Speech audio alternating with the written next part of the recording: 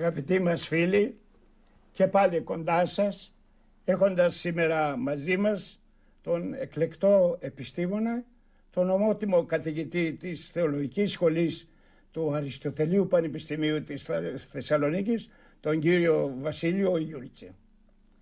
Είναι ένας άνθρωπος με ευρυτάτη μόρφωση, κατέχει τα κοινωνικά θέματα και ασχολείται και ιδιαιτέρως με την αγωγή των παιδιών.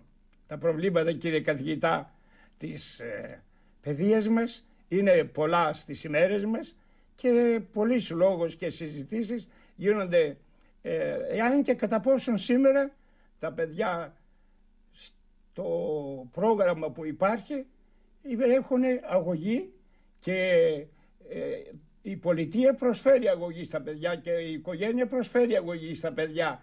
Τι επ' αυτού θα μπορούσατε να μας πείτε. Πατέρα Θεόφιλε, αυτό που βλέπουμε συνήθως στα προγράμματα εκπαίδευσης που ισχύουν στη χώρα μας είναι κυρίως ότι είναι αρκετά μακριά από την έννοια της αγωγής. Υπάρχει μια παιδεία η οποία στηρίζεται σε γνωσιολογικά πρότυπα και σε μια συσσόρευση πολλαπλών γνώσεων στον μαθητή από τις πρώτες τάξεις του δημοτικού μέχρι ακόμη και στην ε, τριτοβάθμια εκπαίδευση. Δεν είναι κάτι καινούριο.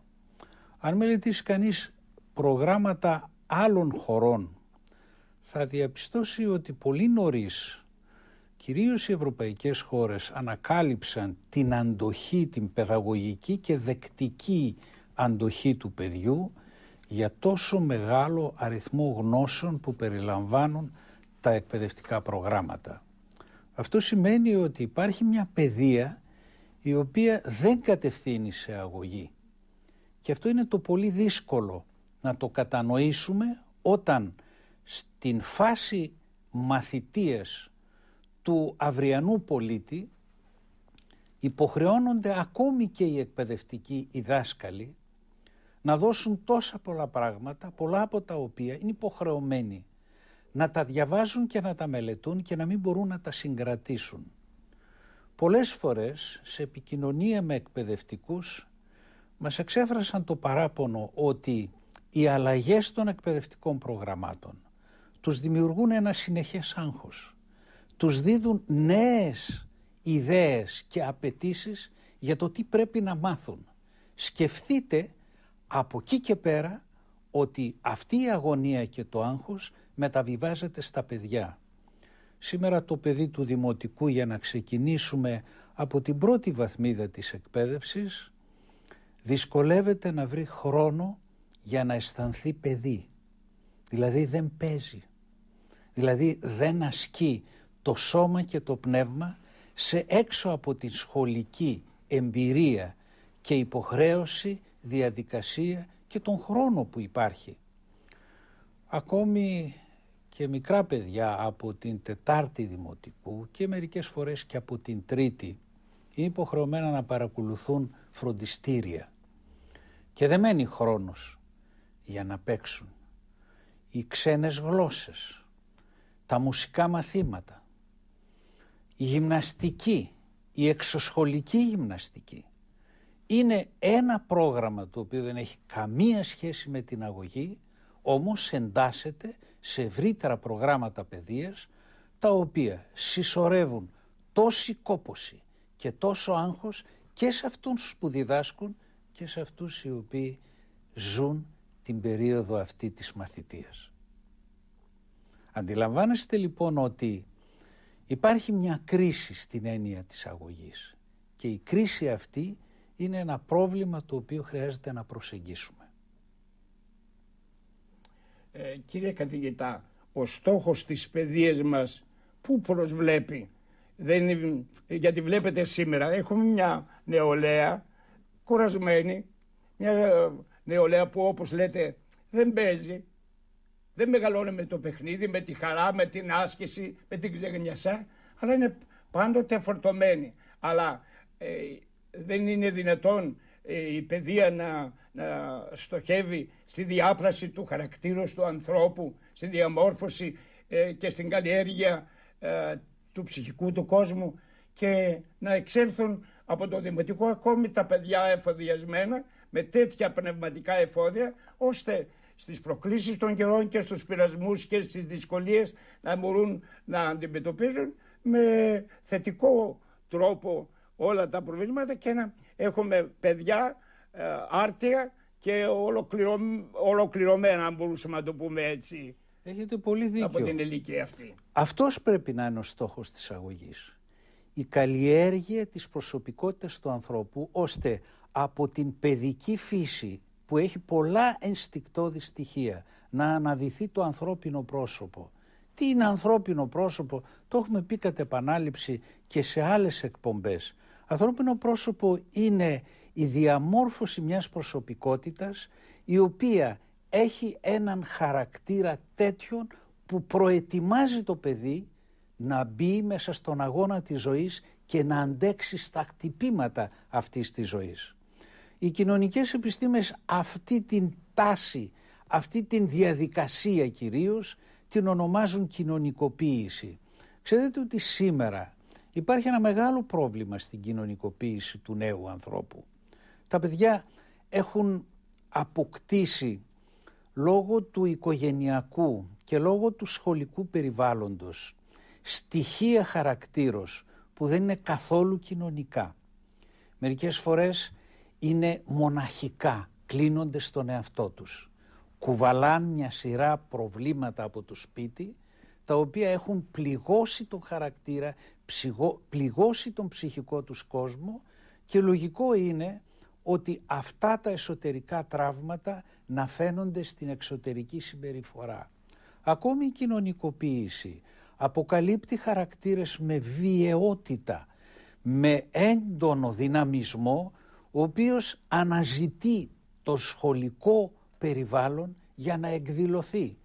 Ξέρετε ότι πολλές φορές οι δάσκαλοι αναγκάζονται να παρεμβαίνουν σε αψιμαχίες και σε συγκρούσεις μαθητών μεταξύ τους και διαπιστώνουν ότι όλα αυτά τα στοιχεία τα οποία κουβαλούν είναι στοιχεία τα οποία συνδέονται με κακή αγωγή, με λανθασμένη αγωγή.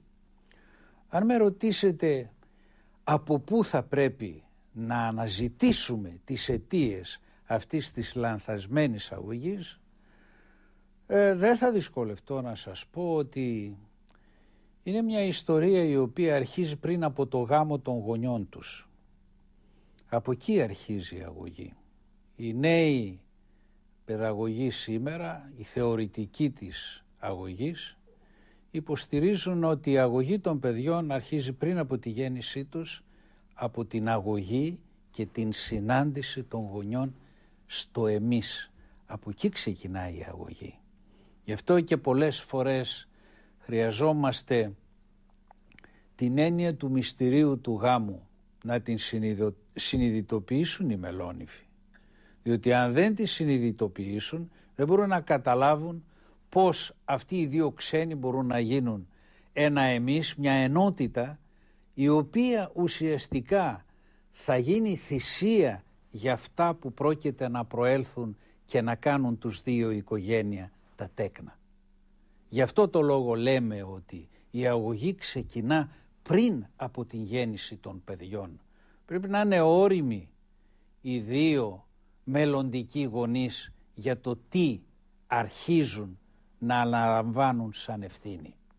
Και αυτό το πράγμα φαίνεται πολύ καλά στην προσπάθεια να ξεχάσουν τον εαυτό τους και να δημιουργήσουν τις προϋποθέσεις για μια θυσία πραγματική χάρη των παιδιών. Τα παιδιά δεν είναι φυτά που ξεφυτρώνουν σε έναν κήπο. Τα παιδιά είναι υπάρξεις ανθρώπινες, κατ' εικόνα του ζωντανού Θεού και πρέπει αυτές οι υπάρξεις να πρημοδοτηθούν με στοιχεία που έχουν αυτοί που τους φέρνουν στη ζωή. Άρα από εκεί θα πρέπει να ξεκινήσει κανείς την αγωγή.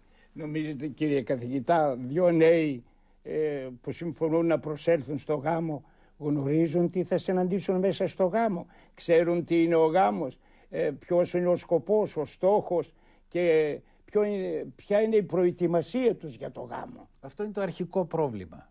Το μεγαλύτερο ποσοστό των νέων ανθρώπων που έρχονται σε κοινωνία γάμου αγνοούν τις συνέπειες και το μεγάλο φορτίο που σημαίνει η κοινωνία των σχέσεων μεταξύ τους. Αυτός είναι ο λόγος για τον οποίο και η Εκκλησία αλλά τα τελευταία χρόνια και η πολιτεία έχουν εισηγηθεί τη δημιουργία σχολών γονέων.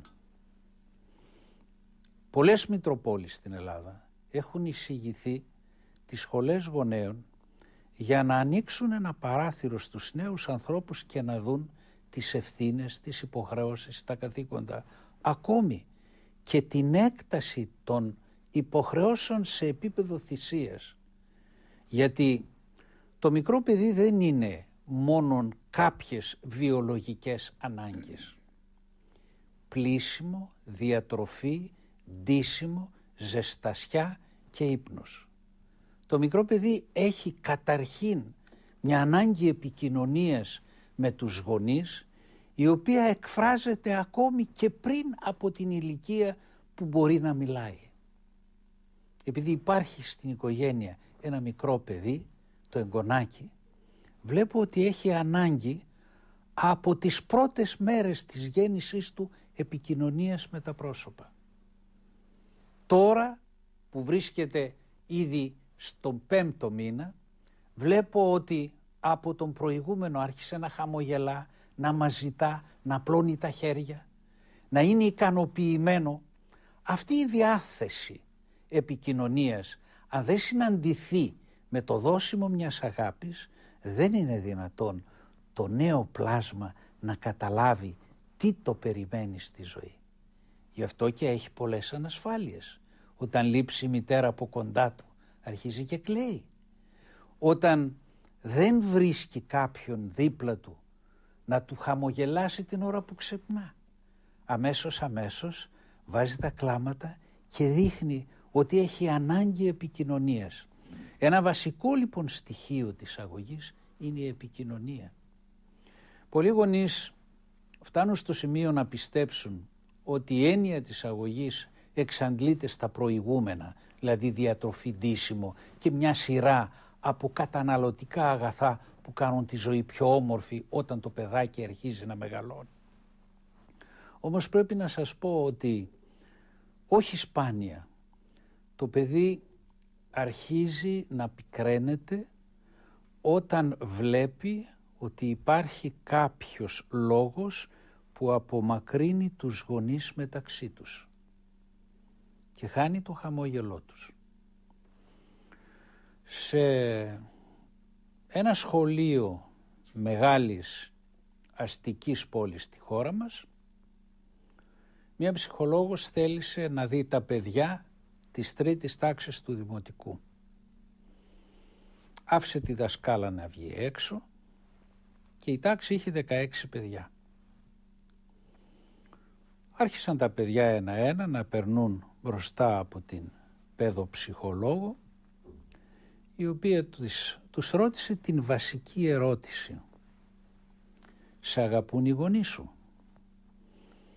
Δύο παιδάκια είπαν με αγαπούν αλλά φοβάμαι.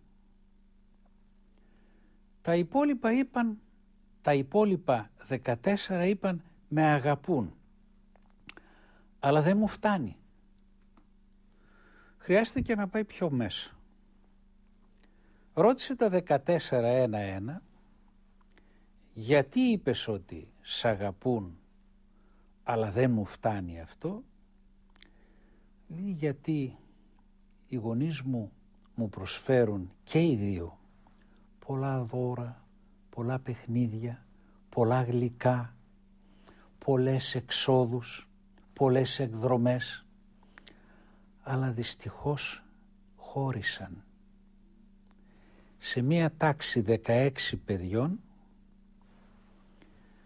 τα 14 είναι παιδιά χωρισμένων γονέων, σε αστικό περιβάλλον. Πέρασε στα δύο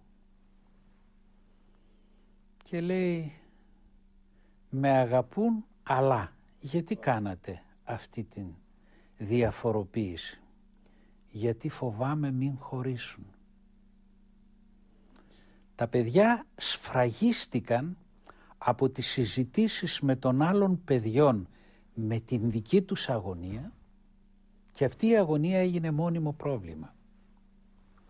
Η επόμενη κίνηση ήταν να συναντήσει τους γονείς, η παιδοψυχολόγος. Και οι γονείς είπαν ότι τα παιδιά περνούν καλά, ε, εμείς είμαστε πολιτισμένοι άνθρωποι, δεν τους, στερούμε, δεν τους στερούμε τίποτε. Λέει, ξέρετε τι μου είπαν, 14 και είναι όλα έχουν την ίδια εντύπωση. Γιατί να χωρίσετε; Σφραγίσατε με το διαζύγιό σας μια αγωνία η οποία αγωνία ήταν να διατηρείτε η αγάπη όχι μόνο απέναντί τους αλλά και μεταξύ σας. Ρωτώνται οι μητέρες των δύο παιδιών που δεν έχουν προχωρήσει, δεν έχουν σχέση με το διαζύγιο. Και είπαν ότι το παιδί και τα δύο παιδιά ξυπνούν το, τη νύχτα με όνειρα φρικτά, με φιάλτες. Και όταν τους ρωτούμε τι ακριβώς συμβαίνει, είδαμε ότι χωρίσατε. Αντιλαμβάνεστε σήμερα ότι η ενότητα του ζεύγους, η αγάπη των γονιών είναι ένα βασικό στοιχείο μέσα από το οποίο πρημοδοτείται η επιβίωση, η ζωή των παιδιών και η συνέχεια διαμόρφωση, διαμόρφωσης του χαρακτήρα τους. Είναι μερικά πράγματα τα οποία δεν ξεπερνιόνται και είναι μερικά πράγματα που δεν μπορεί να τα καταλάβει κανείς αν δεν μπορεί να μπει να πλησιάσει την παιδική ψυχή. Μάλιστα κύριε καθηγητά, όπως βλέπετε το διαζύγιο βρίσκεται επιθύρες και η οικογένεια συγκλονίζεται. Είναι ένας σοβαρός λόγος που τα παιδιά ζουν την αγωνία και τραυματίζονται ψυχικά ε, λόγω των διαφωνιών ή των διαπληκτισμών που είχαν μπροστά του ή τα παιδιά διεπίσουσαν πλέον ότι οι γονείς χώρισαν. Είναι μια τραυματική εμπειρία που τα ακολουθεί. Ξεκινάει από την παιδική ηλικία και προχωρεί και στο μέλλον. Ένα είναι αυτό. Έχετε τη γνώμη ότι η απουσία των γονέων από το σπίτι. Η μητέρα εργάζεται, ο πατέρας εργάζεται, τα παιδιά βρίσκονται στα χέρια ή της γιαγιάς ή της μαμής ή ξέρω εγώ ε, κάποια, κάποιο άλλο Αυτό δεν είναι αρνητικό στοιχείο στον οικογενειακό θεσμό και στην όλη αγωγή των παιδιών. Μπορεί να φαίνεται καταρχήν ότι είναι αρνητικό στοιχείο, αλλά δεν ισχύει πάντοτε. Πρέπει να έχετε υπόψη σας ότι πολλές οικογένειες έχουν ένα βαρύ πρόγραμμα απασχόλησης, διότι οι συνθήκες ζωής στις οποίες ζούμε σήμερα επιβάλλουν ανάγκες οικονομικές που πρέπει να καλυφθούν με εργασία. Και δεν είναι τυχαίο το γεγονός ότι το μεγαλύτερο ποσοστό αυτών που ζουν στα μεγάλα αστικά κέντρα αναζητάει η εργασία και για, την, για τη σύζυγο, για την μητέρα. Όμως το πρόβλημα θα υπήρχε αν τυχόν έμεναν στην απασχόληση και στην εργασία και το σπίτι ήταν απλώς ο χώρος συνάντησης μετά την εργασία.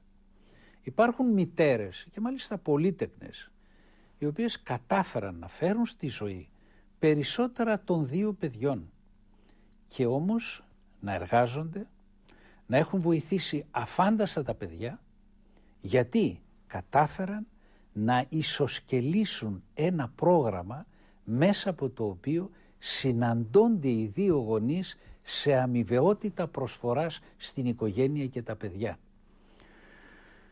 Ξέρουμε ότι ο Ρωμιός είναι ελάχιστα στραμμένος προς την Ανατολή ακόμη και τώρα. Αλλά είναι Ανατολίτης. θέλει την ξεκούρασή του, θέλει την σύζυγο να τον υπηρετεί, σπάνια μοιράζεται μαζί της ευθύνες και καθήκοντα και τις πιο πολλές φορές μετά την εργασία θέλει να του βγάλουν τα παπούτσια να φορέσει τις παντόφλες, να καθίσει στην πολυθρόνα, να διαβάσει εφημερίδα ή να κοιτάξει τηλεόραση. Αν δούμε άλλα μοντέρνα πρότυπα, τα οποία έρχονται από τη Δύση, όπου οι νέοι πολύ νωρίς, ακόμη και από το σχολείο, μαθαίνουν μια σειρά από ευθύνες που έχουν μέσα στην οικογένεια, πράγμα το οποίο δεν γίνεται εδώ σε κανένα σχολείο. Έτσι, στην κοινωνία του γάμου μοιράζονται τις υποχρεώσεις και τα καθήκοντα. Έχω συναντήσει πολλές φορές και έξω και εδώ άνδρες συζύγους να επιμελούνται της διατροφής των παιδιών όταν η σύζυγος λείπει στην εργασία ή ακόμη να αναλαμβάνουν καθήκοντα μέσα στην οικογένεια τα οποία εδώ θα λέγαμε ανήκουν στην μητέρα. Θαυμάσια μπορούν να γίνουν μια σειρά από επιλογές και μάλιστα όταν κάποιες φορές ευνοούν αυτήν τη συνάντηση και την αμοιβαιότητα διαφορετικά ωράρια. Όταν εργάζεται η σύζυγος το απόγευμα και εργάζεται ο σύζυγος το πρωί. Αμοιβαία ο ένας προχωρεί στα καθήκοντα του άλλου και τα παιδιά δεν είναι ποτέ χωρίς κάποιον κοντά τους. Μην ξεχνάμε ότι αυτή η αμοιβαιότητα δένει με μια σιγουριά τον ψυχικό κόσμο των παιδιών γιατί έχει διαρκώς την παρουσία του ενός από τους γονείς κοντά του. Όταν αυτό δεν επιτυχάνεται κύριε καθηγητά δεν Όταν δεν επιτυχάνεται. Δεν αισθάνονται την απουσία των γονέων τα παιδιά. Λογικό είναι να την αισθάνονται. Αλλά μην ξεχνάτε ότι αυτό είναι δική μας επιλογή των γονέων. Δεν είναι των παιδιών. Και αυτό το πράγμα επηρεάζει αρνητικά τον χαρακτήρα. Όταν διαπιστώνουν τα παιδιά ότι υπάρχει επιλογή η οποία τους αφήνει έξω από το παιχνίδι χωρίς να τους λαμβάνει υπόψη, τότε τα παιδιά σφραγίζονται με μια σειρά από τραυματικές εμπειρίες που δεν ξεπερνιόνται εύκολα. Ξέρετε ότι σήμερα παιδάκια της πρώτης δημοτικού πηγαίνουν στο σπίτι και ανοίγουν την πόρτα του διαμερίσματος ή του σπιτιού με το δικό τους κλειδί εν γνώση τους ότι δεν τους περιμένει κανείς. Πηγαίνουν στο ψυγείο, θα πάρουν κάτι κρύο να φαν και στη συνέχεια θα στηθούν μπροστά στην τηλεόραση. Ξέρετε τι μεγάλη πραγματικά ευεργετική είναι η εμπειρία του παιδιού όταν ξέρει ότι χτυπώντας την πόρτα κάποιος τον περιμένει για, τον, για να το ανοίξει. Αυτή η προσμονή του μικρού παιδιού έχει μια σειρά από θετικά στοιχεία τα οποία δεν τα γνωρίζουμε. Ποια είναι τα θετικά στοιχεία; Πρώτα πρώτα έχει μια εσωτερική φόρτιση από θετικά ή αρνητικά συναισθήματα κατά τη διάρκεια της σχολικής του ημέρας. Αυτά χρειάζεται να εκτονωθούν, χρειάζεται να βγουν. Και αν δεν υπάρχει κάποιος συνομιλητής για να βγάλει τα αρνητικά και τα θετικά, τότε αυτά μένουν μέσα στον ψυχικό κόσμο και δημιουργούν αποθέματα δυσφορίας, πικρίας, αλλά ακόμη και χαράς που δεν βγήκε προς τα έξω. Γιατί ξέρετε ποιος είναι ο άνθρωπος. Ο άνθρωπος είναι ένα, ε, μια ύπαρξη που έχει ανάγκη να εξωτερικεύσει τον ψυχικό του κόσμο. Μερικές φορές δε, όταν αρνείται ή όταν δεν μπορεί να τον εξωτερικεύσει πρέπει να ξέρετε ότι πίσω από αυτή την άρνηση και από αυτή την αδυναμία κρύβεται ένα ψυχικό τραύμα του παρελθόντος το οποίο δεν βοηθά την επικοινωνία και τον διάλογο. Αυτός είναι ο λόγος για τον οποίο χρειάζεται να υπάρχει ένας άνθρωπος. Και αν δεν υπάρχει θα πρέπει να ανακαλύψουμε μια δυνατότητα. Σήμερα οι παιδικοί σταθμοί δέχονται το παιδί από τις 7 η ώρα το πρωί μέχρι τις 5 η ώρα μέχρι τις 6 το απόγευμα. Δεν ξέρω αν το μέτρο αυτό δεν επιχείρησα ποτέ να το πλησιάσω γιατί φοβούμε αυτά τα μέτρα, είναι έξω από την αντοχή της παιδικής ηλικίας, ακόμη και αν στον παιδικό σταθμό υπάρχει κρεβατάκι που μπορεί να κοιμηθεί. Αλλά πάνω από το κεφαλάκι που θα οδηγήσει το μικρό παιδί να κλείσει τα ματάκια δεν είναι κανένας από τους οικείους του. Είναι ο πληρωμένος υπάλληλος, η πληρωμένη υπάλληλος, που μπορεί να κάνει θαυμάσια την εργασία, αλλά δεν μπορεί να υποκαταστήσει την μητέρα και τον πατέρα ή τη γιαγιά. Όσο για τη γιαγιά και τον παππού είναι άλλη ιστορία. Οι σύγχρονες ανάγκες οικιστικής προσαρμογής έχουν επιβάλει λόγω του υπέρογκου ενοικίου και των υπέρογκων ποσών για την αγορά ιδιωτικής στέγης έχουν επιβάλει τη συρρήκνωση του στεγαστικού χώρου όπου δεν χωράει η τρίτη γενναία. Με αποτέλεσμα στην Ήπεθρο να μένουν οι υπερήλικες, οι γονείς των συζύγων μακριά από τα εγγόνια. Είχα πάει πριν από μερικές μέρες σε μια όμορφη κοινότητα εδώ έξω από τη Θεσσαλονίκη και παρακολούθησα στην εκκλησία έλλειψη νέων ανθρώπων. Πιο πολλοί ήταν ηλικιωμένοι, υπερήλικες. Ε, όταν βγήκαμε έξω, ρώτησα κάποιον γνωστό, καλά λέω, νέοι δεν υπάρχουν. Λέει, επειδή είμαστε κοντά στη Θεσσαλονίκη, μόνο το βράδυ έρχονται, δουλεύουν κάτω στην πόλη, στις επιχειρήσεις, στις βιομηχανίες, στα γραφεία κλπ. Έρχονται εδώ. Και τα παιδιά πού είναι; Ε, τα παιδιά λέει, τα παίρνει το πρωί το αυτοκίνητο του παιδικού σταθμού και τα φέρνει λέει αργά, κατά τις 5, κατά τις 6. Αυτό δεν είναι η οικογένεια. Αυτό είναι μια αποφυγή της ευθύνης η οποία σε τελική ανάλυση απομακρύνει τα παιδιά της νέας γενιάς και τα κάνει τόσο ψυχρά σε συναισθήματα που αύριο δεν θα μπορούν να κλάψουν μπροστά σε ένα οδυνηρό γεγονός και δεν θα μπορούν να γελάσουν μπροστά σε συγκλονιστικά γεγονότα χαράς, ειρήνης, ευτυχίας μεταξύ των ανθρώπων. Ε, κύριε καθηγητά, πώς βλέπετε εσείς την ε, αντιμετώπιση των νέων ζευγαριών ως προς τις ευθύνες που έχουν στα παιδιά τους. Οι γονείς λένε δεν, δεν τα λείπει τίποτα και όπως είπατε προηγουμένως εκείνο το χαρακτηριστικό παράδειγμα τα έχουν όλα. Δεν τους λείπουν εκδρομές, φαγητά, ψωμιά, δηλαδή ό,τι αφορά το παιδί σαν σώμα οι γονείς είναι έτοιμοι να τα προσφέρουν. Αλλά αντιμετωπίζουν τα παιδιά ως πνευματικές υπάρξεις, ότι τα παιδιά έχουν μια ψυχή αθάνατη, ότι πρέπει να προσφέρουν και εγωγή στα παιδιά αυτά, αντιμετωπίζοντας τα όχι σαν λαβράκια μέσα στο σπιτάκι, αλλά με, ως πνευματικές υπάρξεις που πρέπει να τα φροντίσουν και να τα αποδηγετήσουν. Τώρα μπήκατε σε βαθιά νερά, Πατέρ Θεόφιλε.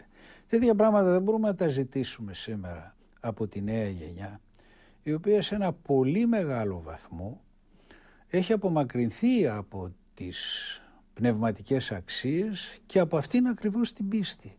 Αν δεν έχει κάποιος, πώς θα το δώσει; Ή πώς θα έχει αγωνία γι' αυτό; Ούκαν λάβεις παρά του μη έχοντος.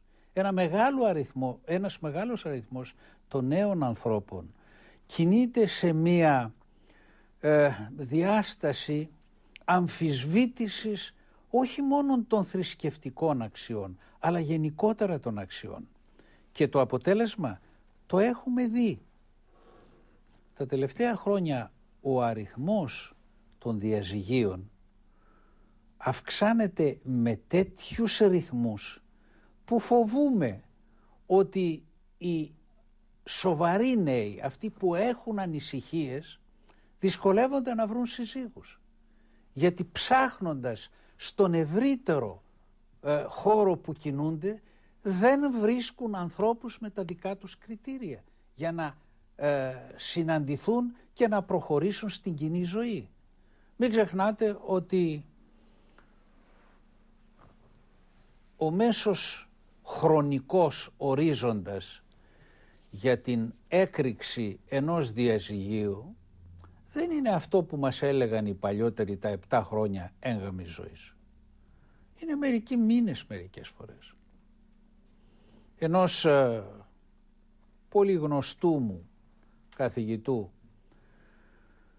ε, ο οποίος έχει πεθάνει πριν από χρόνια κοιμήθηκε η σύζυγός του πρόσφατα και είχε καημό γιατί ο γιος τους που σπούδασε, έκανε πολύ καλές σπουδές παντρεύτηκε και χώρισε στους έξι μήνες. Ποια ήταν η αιτία; Αστεία αιτία. Δεν έκαμνε, δεν μπόρεσε η σύζυγος να προσαρμοστεί στην κουζίνα της μητέρας του. Όταν ξεκινάει κανείς από αυτά τα στοιχεία, αντιλαμβάνεστε πάρα πολύ εύκολα ότι στα δύσκολα, τα οποία είναι διαφορετικοί χαρακτήρες, ή μπορεί να είναι οικονομικά μεγέθη, ή μπορεί να είναι παρεμβάσεις τρίτων, ή μπορεί να είναι λόγια από έξω οικογενειακά περιβάλλοντα. Πώς θα αντέξει ο χαρακτήρας αν δεν έχει ψήγματα πνευματικότητας όπου απαιτεί στην κοινωνία του γάμου κυρίως θυσίες. Κυρίως θυσίες. Αυτός ο ξένος από την Ορεστιάδα που παντρεύτηκε την κοπέλα από την Τρίπολη πώς θα γίνουν ενότητα αν δεν ξέρει κανείς να κόβει τις δικές του απαιτήσεις και να μπορεί όχι να υποτάσσεται αλλά να συμβιβάζεται στο κοινό αγαθό που είναι η ενότητα και η ομόνια. Ε, διαβλέπετε κύριε καθηγητά ε, διάτριτο το θεσμό της οικογένειας και ανίκανο να αντέξει στη ροή του χρόνου και έχουμε το πλήθος των διαζυγίων είναι η ατμόσφαιρα μέσα, στη ζούμε, μέσα στην οποία ζούμε και αναπνέουμε. Είναι η κοινωνία που μας απομακρύνει από το θεσμό του γάμου. Πώς το ε, ε, κρίνεται αυτό κύριε καθηγητά; Το είχαμε πει στην προηγούμενη εκπομπή ότι υπάρχει μια γενικότερη κρίση των θεσμών. Ο γάμος δεν μπορεί να ξεχωρίσει. Εδώ η ίδια η θρησκεία που είναι ένας καθαρά πνευματικός θεσμός στην θεσμική του διάσταση, στην θεσμική της διάσταση, ε, πολλές φορές βρίσκεται κάτω από πιέσεις που μειώνουν την ε, πνευματική της υποδομή. Αυτό φαίνεται στην οικογένεια. Σήμερα αν παρακολουθήσετε στην ε, διεθνή τηλεοπτική βιομηχανία ε, σειρές τηλεοπτικές που εμπλέκουν μέσα την δομή της οικογένειας, του γάμου και των σχέσεων μεταξύ συζύγων και παιδιών θα απογοητευτείτε. Πολλά από αυτά τα serials παρουσιάζονται στην ελληνική τηλεόραση με υποτίτλους. Το χειρότερο παράδειγμα που θα μπορούσαμε να δούμε είναι ακριβώς μία πλήρως διαλυμένη οικογένεια η οποία σιγά σιγά εμβολίζει την ελληνική ορθόδοξη οικογένεια και της κολλάει μια σειρά από πληγές οι οποίες ωρεοποιούνται και σιγά σιγά εμφανίζονται σαν εξέλιξη στη χώρα μας. Είναι γνωστό ότι ένας πολύ μεγάλος αριθμός οικογενειών στην ουσία έχουν διαλυθεί από καιρό, αλλά για τα μάτια του κόσμου ε, λέγεται ότι είναι οικογένειες και δεν υπάρχει κανένα πρόβλημα. Πώς εκεί μέσα θα μπορεί να αναπνέει, θα μπορεί να ζει, θα μπορεί να αισθάνεται ευτυχισμένο ένα μικρό παιδί. Είναι τραγική η περίπτωση ανθρώπων που ξεκινούν για να φτιάξουν οικογένεια από εσφαλμένη βάση στην οικογένεια δεν υπολόγισαν τις θυσίες χάρη των παιδιών. Και ακριβώς αυτό είναι που έρχονται να μας ζητήσουν τα παιδιά. Τα παιδιά, ναι, αυτό ήθελα να πω. Αυτό τα παιδιά τι, της εποχής μας, των ημερών μας, που ακόμη βρίσκονται μέσα στο στενό οικογενειακό κύκλο. Τι απαιτήσεις έχουν και τι απαιτήσεις έχουν και οι γονείς από τα παιδιά. Γιατί καμιά φορά οι γονείς σκέπτονται, μα ξέρετε, σας τα δώσαμε όλα. Τα έχετε όλα, δεν σας λείπει τίποτε. Τι άλλο θέλετε να, να σας δώσουμε; Αυτά, αυτά τα όλα είναι υλικά, υλοκρατικά στοιχεία. Το παιδί έχει μια ψυχική ευαισθησία που ζητάει και μερικά αγαθά ψυχικά, πνευματικά, ε, χαρακτήρες οι οποίοι δεν έχουν τη δυνατότητα, δεν έχουν μέσα τους πηγαίο υλικό αγάπης, καλοσύνης, ειρήνης δεν μπορούν να μεταδώσουν στα παιδιά αυτό που δεν έχουν. Τα παιδιά όμως αυτό ζητούν. Βλέπουμε παιδιά οικογενειών τα οποία ζουν μέσα σε ένα περιβάλλον φτωχόμεν αλλά πνευματικό όπου καλλιεργεί τον χαρακτήρα, πρημοδοτεί την προσωπικότητα με αξίες, κάνει τα παιδιά να αγωνίζονται για κάτι καλύτερο, για κάτι ψηλότερο και τα παιδιά είναι ευτυχισμένα. Και βλέπετε πλούσιες οικογένειες που δεν λείπει τίποτε. Όμως δεν έχουν να προσφέρουν από τον δικό τους ψυχικό κόσμο. Γι' αυτό τα παιδιά μας ζητούν να τους δώσουμε στοργή, να τους δώσουμε κατανόηση, να τους δώσουμε αγάπη. Προχθές άκουγα για μία έρευνα που γίνεται από παιδαγωγούς της πρώτης γενετικής ηλικίας λέει παλιότερα υπήρχε η άποψη όταν το παιδί κλαίει η μητέρα να φροντίζει να το μαθαίνει να μην είναι διαρκώς αγκαλιά.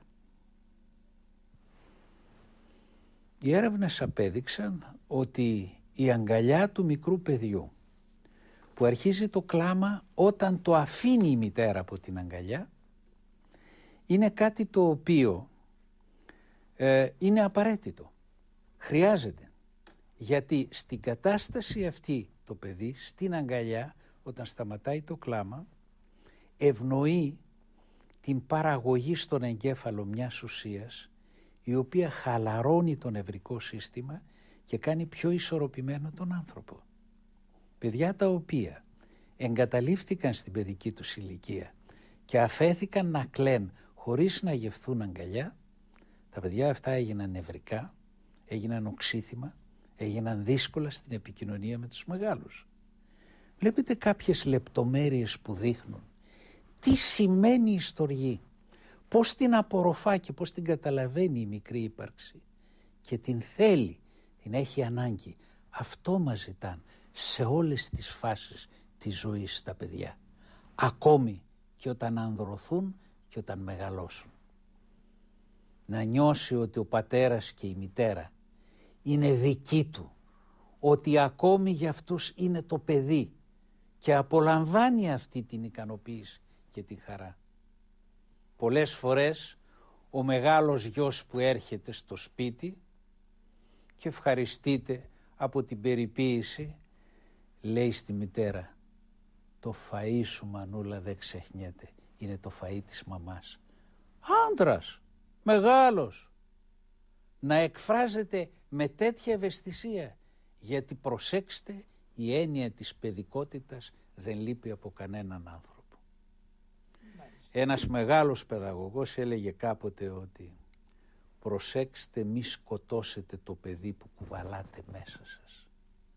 Αυτή η έννοια της παιδικότητας που υπάρχει σε κάθε άνθρωπο δεν σβήνει μέχρι την κοίμησή του, μέχρι που να κλείσει τα μάτια του. Γι' αυτό βλέπετε χαριτωμένους, εγκάρδιους ανθρώπους που λειτουργούν σαν παιδιά, που μπορούν να τραγουδήσουν, που μπορούν να γελάσουν, που το πρόσωπό τους έχει μια έκφραση που σε κάνει ευτυχισμένο, σε κάνει ενθουσιασμένο. Είναι γιατί κουβαλάν και αφήνουν να εκδηλώνεται το μικρό παιδί που υπάρχει μέσα μας. Αυτή είναι η πραγματικότητα. Ε, κύριε καθηγητά, ακούμε πολλές φορές ε, παράπονα από τις νεότερες μητέρες που εκφράζονται έτσι με ένα άσχημο τρόπο για τα παιδιά τους. Είναι πάρα πολύ, πολύ ζωηρά. Με κούρασαν, δεν τα αντέχω πια. Θα τα πάω στους παππούδες να, το, να γλιτώσω. Ε, αυτό το φαινόμενο πώς το κρίνετε κύριε καθηγητά; Κοιτάξτε είναι φυσική συνέπεια γιατί η μητρότητα ειδικά τους πρώτους μήνες της παρουσίας ενός παιδιού μέσα στην οικογένεια και τα πρώτα χρόνια από τη στιγμή που θα αρχίσει να πηγαίνει στο σχολείο Είναι μια πραγματικά δύσκολη περίοδος. Ναι. Πάρα πολύ δύσκολη. Αν δεν της λείπει μια συμπαράσταση και μια βοήθεια από τον σύζυγο, τότε μερικές φορές φτάνει μέχρι την ευρασθένεια αυτό το πράγμα. Γνωρίζω πολλές περιπτώσεις νεαρών μητέρων οι οποίες είχαν προβλήματα και αναγκάστηκαν να ε, απευθυνθούν σε ψυχιάτρους για να τους βοηθήσουν να ξεπεράσουν αυτό το στρες. Είναι κάτι και λογικό και αναμενόμενο. Αλλά όταν μέσα σε αυτό το λογικό και το αναμενόμενο έρθει η συμπαράσταση και η βοήθεια των άλλων μέσα στην οικογένεια μπορεί να μοιράζεται και να ξεπερνιέται το άγχος. Όμως τον παιδικό δυναμισμό ή τις παιδικές παραξενιές που δεν μπορούμε εύκολα να τις καταλάβουμε πρέπει να τις κατανοήσουμε ότι είναι μια φάση πάρα πολύ δύσκολη. Η παιδικότητα για να φτάσει στην προεφηβεία και στην εφηβεία και στην άνδρωση είναι μια διαδικασία αρκετά οδυνηρή. Μερικές φορές είναι πιο οδυνηρή ακόμη και από έναν φυσικό τοκετό. Μας λένε οι παιδαγωγοί ότι το πέρασμα από την εφηβεία στην ενηλικίωση είναι μία από τις μεγαλύτερες κρίσεις στην ανθρώπινη πορεία. Από τις μεγαλύτερες κρίσεις.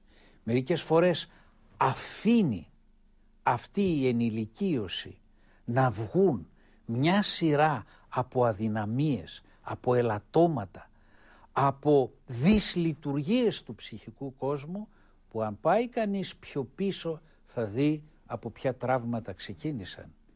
Γι' αυτό το λόγο κυρίως ο έφηβος χρειάζεται λίγο περισσότερη αγάπη από το μικρό παιδί. Λίγη περισσότερη κατανόηση, λίγη περισσότερη φροντίδα, λίγη περισσότερη μέρημνα. Ε, κύριε καθηγητά, ε, από όσα μας είπατε σχηματίσαμε μια έτσι ζωντανή εικόνα της καταστάσεως μέσα στο χώρο της οικογένειας.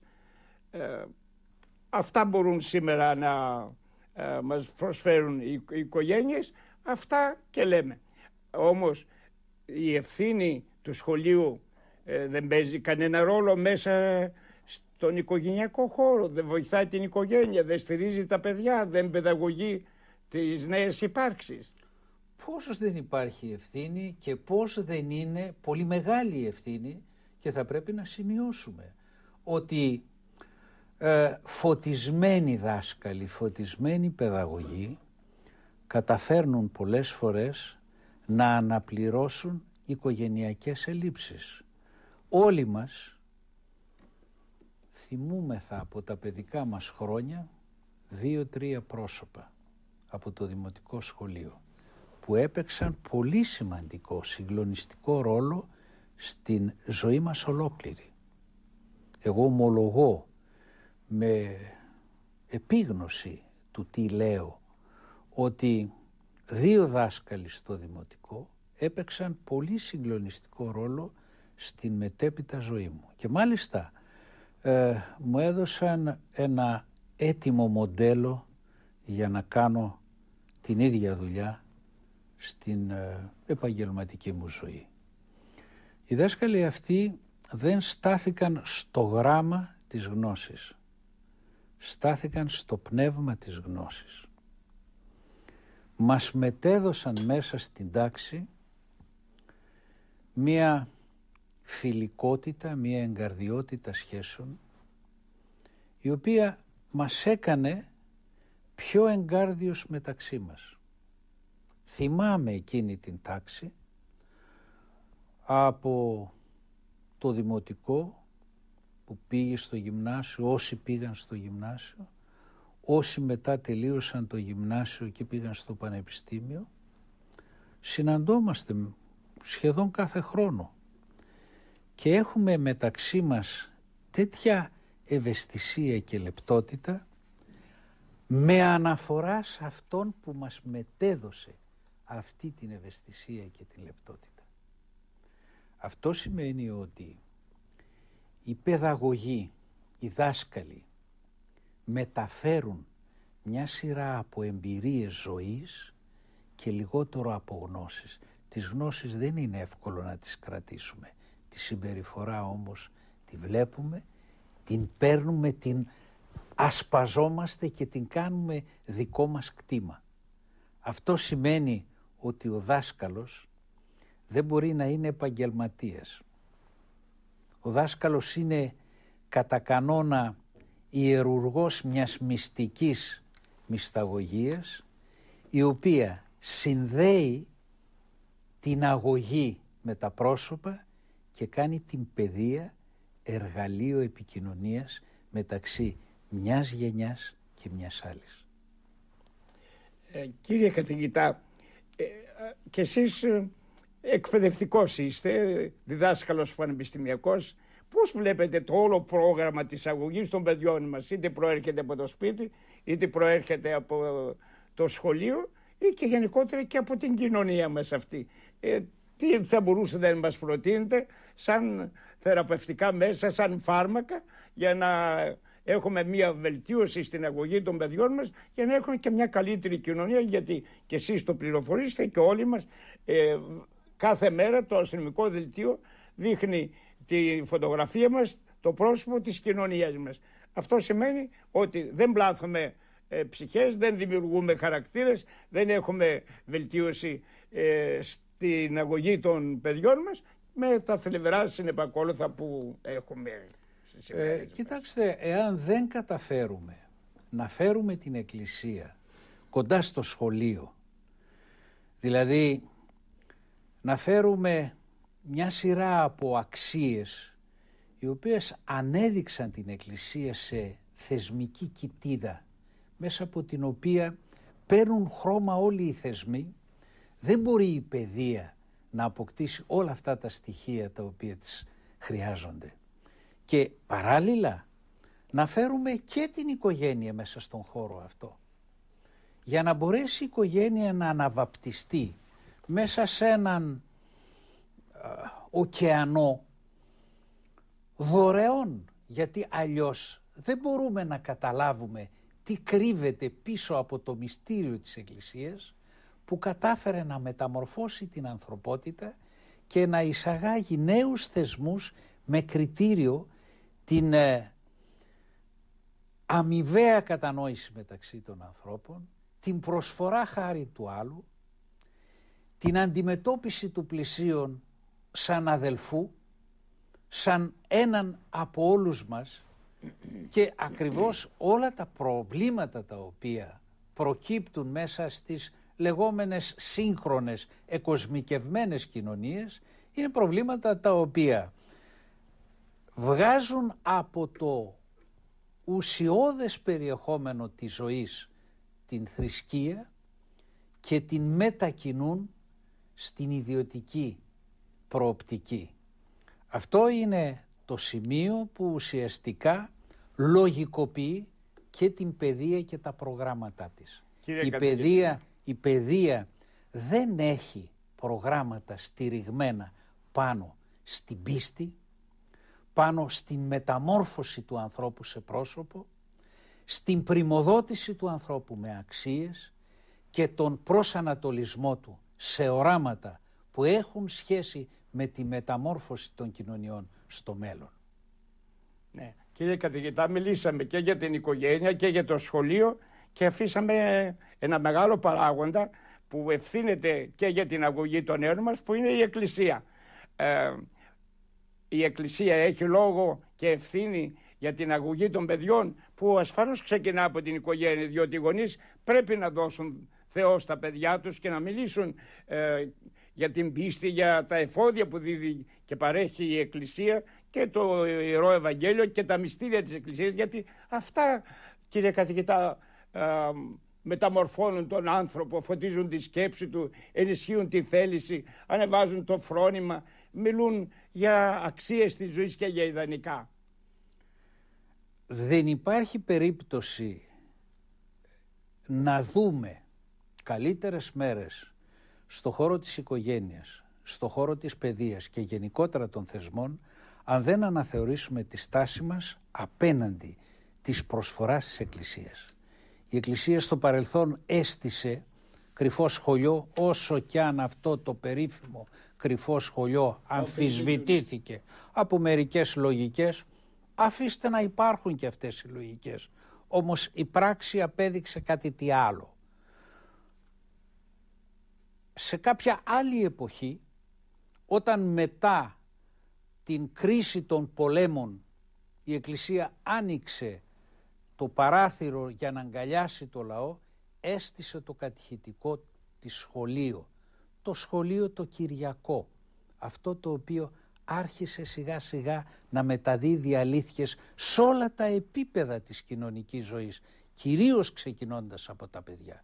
Βέβαια ο θεσμός χρειάζεται να αλλάξει και η Εκκλησία είναι σε θέση να αλλάξει, να πρημοδοτήσει με νέα στοιχεία. Αν επισκεφθεί κανείς μερικές προοδευτικές ενορίες και στην περιοχή εδώ της Θεσσαλονίκης αλλά και στα μεγάλα αστικά κέντρα θα διαπιστώσει ότι είναι κυψέλες στις οποίες έχει έρθει, έχει μαζευτεί κάθε ψυχούλα που περιμένει γαλήνη, ηρεμία, διασκέδαση πραγματική, κίνητρα για τη ζωή και ουσιαστικά αισιοδοξία για το αύριο. Γνωρίζω πολύ καλά στη Μητρόπολη Νεαπόλεως ορισμένες ενορίες οι οποίες παρέχουν κάθε είδος κοινωνικής και πνευματικής προσφοράς στα νέα παιδιά, στα μικρά παιδιά, στους ε, συζύγους, αλλά ακόμη και στους υπερήλικες. Και αυτό σημαίνει ότι η Εκκλησία με αυτά τα στοιχεία κινήθηκε και μεταμόρφωσε λαούς ολόκληρους. Όταν κάποτε, το έχω ξαναπεί αλλά θα σας το ξαναθυμίσω, όταν κάποτε σε ένα συνέδριο επισκεφθήκαμε την ε, Αγία Πετρούπολη και πήγαμε σε μία ενορία από τις μεγάλες ενορίες της Πετρούπολης, ένας γυρεός καντιλανάφτης, νεοκόρος εκεί στην εκκλησία, πάνω από τα 80, ρωτούσε το γκρουπ που είχαμε πάει από πού είσαι εσύ, από πού είσαι εσύ, από πού είσαι εσύ, από πού είσαι εσύ. Ήμασταν δύο από την Ελλάδα, ο ένας ήταν κληρικός, λέει εσείς από πού είστε, λέει μαζί με τον κύριο λέει είμαστε από την Ελλάδα. Τρέχει μας αγκαλιάζει και λέει οι δύο Έλληνες λέει από τη Θεσσαλονίκη λέει μας έφεραν την Ορθοδοξία και μας μεταμόρφωσαν λέει. Τα μεταμόρφωσαν όλα, την οικογένεια, την παιδεία, την τέχνη, τα γράμματα, όλα. Μπορεί κανείς να καταλάβει ότι έχει νόημα αυτή η αναφορά στην Ορθόδοξη παράδοση η οποία απαλύνει τον εσωτερικό κόσμο του ανθρώπου, κάνει τον άνθρωπο ήρεμο, γνήσιο, να ξεχνά τις μικρότητες και τα πάθη και να πλώνει τα χέρια για να δει τα προβλήματα και τον πόνο του άλλου. Πολύ περισσότερο να πλώνει τα χέρια και να αγκαλιάζει το μικρό παιδί για να του προσφέρει ασφάλεια και εσωτερική ειρήνη. Ε, κύριε καθηγητά, ε, στο Ευαγγέλιο διαβάζαμε εκείνα τα υπέροχα λόγια που είπε ο Κύριος μας άφετε τα παιδεία έρχεστε πρόσμα και μη κολλιέτε αυτά. Το γαρτιούτον στην η βασιλεία των ουρανών. Αυτό πείτε μας δυο λόγια και δώστε μας την αληθινή έτσι ερμηνεία των λόγων του Κυρίου. Κοιτάξτε πίσω από αυτή την προτροπή του Κυρίου κρύβεται το μεγαλείο και η ομορφιά της παιδικής ψυχής. Η απλότητα και η καθαρότητα της σκέψης. Ακριβώς αυτό το πράγμα προσπάθησε και αν μη γίνεται ως τα παιδεία, ακριβώς αυτό το πράγμα προσπάθησε να δώσει ο Κύριος και να δείξει στους ανθρώπους ότι αυτό που είναι το πιο καθαρό, το πιο αμόλυντο, το πιο γνήσιο είναι η παιδική ηλικία και η παιδική ψυχή. Γι' αυτό και μας συνιστά να γίνουμε σαν τα παιδιά. Γιατί αυτόν είναι η βασιλεία των ουρανών, γιατί σε αυτούς ανήκει η βασιλεία των ουρανών. Είναι πολύ μεγάλο αυτό το μήνυμα το οποίο προσφέρει ο Κύριος και στους μαθητές, αλλά και στους ανθρώπους όλων των γενεών και όλης της ιστορίας. Μπορούμε να εγκαταλείψουμε τις μικρότητες, τις υποκρισίες, την πονηριά, τις σκοπιμότητες και να ξαναγυρίσουμε σε αυτή την υπέροχη κατάσταση της αγαθότητας της παιδικής ψυχής. Ε, αυτό είναι το μήνυμα το οποίο μπορεί να αναπαύει την ανθρώπινη ψυχή.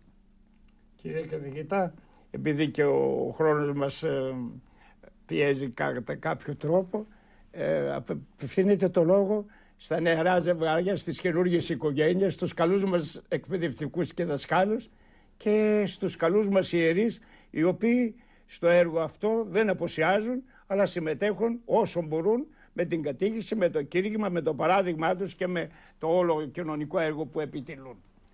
Στα νεαρά ζευγάρια θα έλεγε κανείς ότι χρειάζεται να συλλάβουν το μέγεθος της θυσίας και μέσα σε μια πορεία αμοιβαιότητας να δώσουν ό,τι καλύτερο μερικές φορές ξεχνώντας τον εαυτό τους. Είναι δύσκολη η αγωγή του παιδιού. Είναι δύσκολη η παιδική ηλικία. Αλλά έχει την ομορφιά της δημιουργίας. Γιατί τα νεαρά ζευγάρια με τη γέννηση των παιδιών τους γίνονται συνδημιουργοί και μαζί με τον δημιουργό, με τον μεγάλο δημιουργό πατέρα ουσιαστικά πρημοδοτούν την ιστορία της κτίσεως. Στους δασκάλους να συνειδητοποιήσουν ότι το έργο τους δεν είναι επάγγελμα.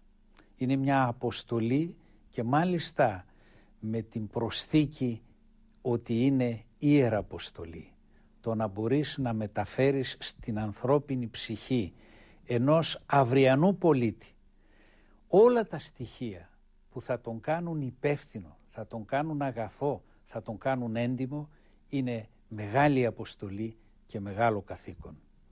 Οι ιερείς να μάθουν να τα αγαπούν τα παιδιά και μερικές φορές μέσα στον ναό όταν ξεχνιούνται και φωνάζουν να μην τα επιπλήττουν, να τα καλούν και θα δείτε πολύ σύντομα τα μικρά παιδιά που θορυβούν, που λειτουργούν μερικές φορές με ακρότητες θα μάθουν πάρα πολύ εύκολα να σέβονται το χώρο και την ησυχία. Τέλος θα έλεγα δύο λόγια και για την πολιτεία. Βεβαίως ε, πρέπει να έχουμε υπόψη μας ότι η πολιτεία δέχεται διαρκώς τις απαιτήσεις μας αλλά υπολείπεται πολύ από τις ευθύνες της έναντι της παιδείας. Σχολεία με σπασμένα τζάμια, σχολεία με τείχους και ταβάνια που στάζουν, σχολεία που δεν έχουν θέρμανση, σχολεία που δεν έχουν ακριβή αριθμό δασκάλων, σχολεία που δεν έχουν βιβλιοθήκες και σύγχρονα μέσα τεχνολογικά για την μάθηση και την εμπέδωση των γνώσεων χρειάζεται να πρημοδοτηθούν με περισσότερες δαπάνες για να μπορέσουν οι νέοι να ζουν τη χαρά της μαθητείας μέσα σε μια ατμόσφαιρα ανάλογη με αυτή που πρέπει να αποδέχονται. Νομίζω ότι εδώ κλείνεται όλη μας η ευθύνη και αν επιμεριστούμε ο καθένας τις ευθύνες μπορούν να έρθουν για αυτό τον τόπο παρόλα τα προβλήματα καλύτερες ημέρες. Κύριε καθηγητά σας ευχαριστούμε για την παρουσίαση του θέματος, του προβλήματος, του κοινωνικού μας αυτού προβλήματος και ε, με όσα μας είπατε μας θέτετε μπροστά στις ευθύνες μας γιατί όλοι μας έχουμε ευθύνες και ας ελπίσουμε ότι αν όλοι μας κάνουμε το χρέος και το καθήκον μας θα δούμε καλύτερες μέρες σε, αυτήν, σε αυτόν τον τόπο και σε αυτόν τον χώρο. Αγαπητοί μας φίλοι, ε, να σας ευχαριστήσουμε πρώτα που μείνατε μαζί μας. Ε, βεβαίως δεν ξέρω πόσο ε, συμφωνείτε με όσα ο κύριος καθηγητής μας είπε, αλλά ο κύριος καθηγητής ως επιστήμονας κάνει μία διαπίστωση και μας δίνει αφορμές ή φωτογραφίες τόσο από την οικογένεια όσο από το σχολείο και γενικότερα από την κοινωνία μας. Οι γονείς έχουν χρέος να δώσουν Θεό στα παιδιά τους. Να βλέπουν ότι τα παιδιά έχουν και μια ψυχή. Να ξεκαθαρίσουν και να δημιουργήσουν τις κατάλληλες κλιματολογικές συνθήκες ώστε η πίστη των παιδιών να ριζώσει, να βλαστήσει και να καρποφορήσει. Να συνδέουν τα παιδιά με την Εκκλησία και ο Χριστός είναι εκείνος θα, που θα μεταμορφώσει τις παιδικές ψυχές. Στους καλούς μας δασκάλους και καθηγητάς θα θέλαμε να σεβαστούν την πίστη των παιδιών. Να μην επεμβαίνουν δυναμικά και ας έχουν αυτοί διαφορετικές αντιλήψεις. Να τις κρατήσουν για τον εαυτό τους, αλλά κανένας δεν έχει το δικαίωμα να σκοτώνει την πίστη ή να σκοτώνει το Θεό στις καρδιές των παιδιών. Και η ελληνική πολιτεία να αναλογιστεί περισσότερο από όλους μας τις ευθύνες, να δημιουργήσει μια παιδεία με Θεό και όχι μια αθείζουσα παιδεία που γκρεμίζει τις αιώνιες αλήθειες του Ευαγγελίου.